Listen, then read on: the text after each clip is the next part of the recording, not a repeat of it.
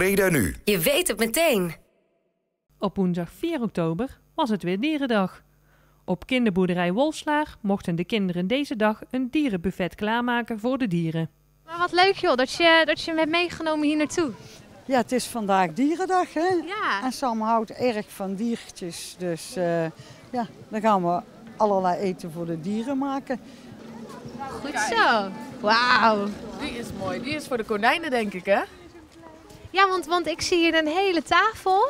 Ik zie boterhammen. Ik zou zo gewoon naar mijn eigen koelkast kunnen komen als ik het zo zie allemaal. Niet al het eten is voor elk dier even goed. En niet alles vinden ze ook even lekker. Dus we hebben bedacht om voor de konijnen een soort satéprikkers te maken. En dat hebben we gemaakt van, van wilgetakken.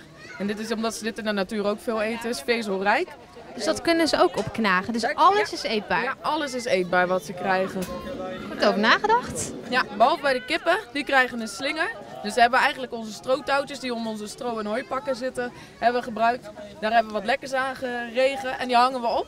En dan moeten de kippen eigenlijk een beetje moeite doen om het op te kunnen eten. Dus zo stimuleren we ook het gedrag van de kippen. Een normaal buffet voor mensen, dat is, is alles mooi op tafel. Je kunt het gewoon lekker eten. Jullie maken er nog een speurtocht van. De dieren moeten hun beste voor doen. Ja, dat is voor de dieren het leukst. En voor ons ook het leukst om te zien. Volgens mij eh, zijn we iets anders aan het doen.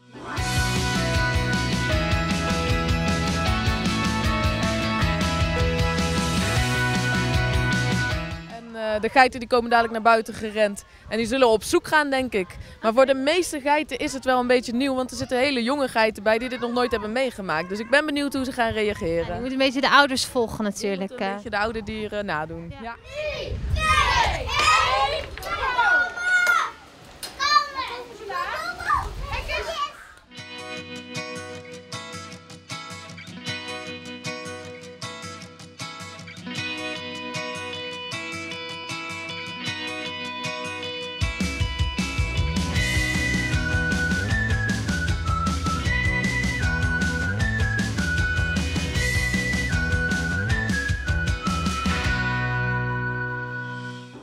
hoorde net een heel verhaal van dat deze langharige geit met de horens, dat die heel erg getraind is. Ja, dat klopt. Het is eh, sinds een paar jaar getraind door mij. Eh, Wat heb je hem allemaal geleerd dan? ehm, ze kan een pootje geven, onder mij doorlopen. Ze kan een parcourskansen doen. Ze kan echt heel veel. Dus Nou, dat willen we natuurlijk wel even zien dan. ja, ik weet niet wat het nou lukt, want er is heel veel eh, afleiding. Maar ik kan het proberen even te roepen. Oh, ze luistert gewoon echt. Kijk dan. Ze luistert gewoon echt. Wauw, even een pootje geven. Pootje.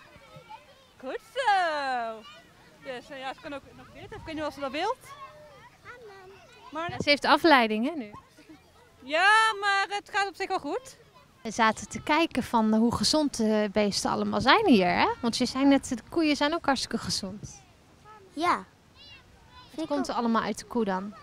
melk Heel goed. en denk ik kalfjes, maar ik weet niet waar de kalfjes uitkomen. Kalfjes komen ook uit de koe. Ja, maar waar? Oh, die ene... Ik denk dat je dat aan, aan, eh, aan je papa en mama moet vragen.